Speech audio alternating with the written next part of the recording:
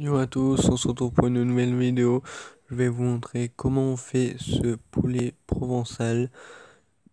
A tout de suite. Si vous voyez qu'il y en a beaucoup, c'est parce que je veux diviser la recette. Mais je vous ferai pour 4 personnes. Une courgette. Une boîte de tomates pelées. Si vous n'en avez pas, pelez vos tomates comme moi.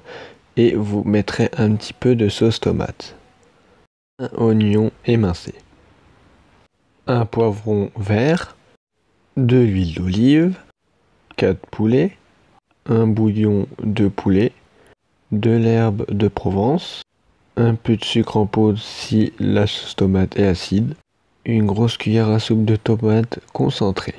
Dans une poêle ou dans une cocotte, rissoler les morceaux de poulet.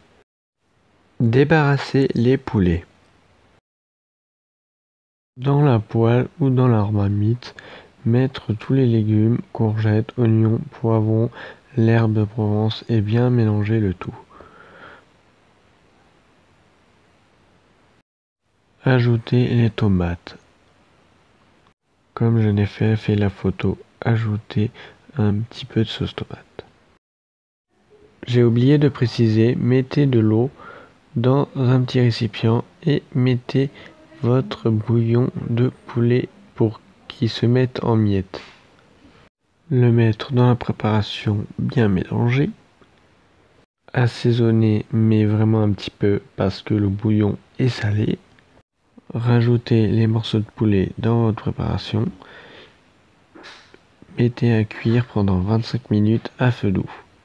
Et voilà, c'est fini, plus qu'à dresser. Bon appétit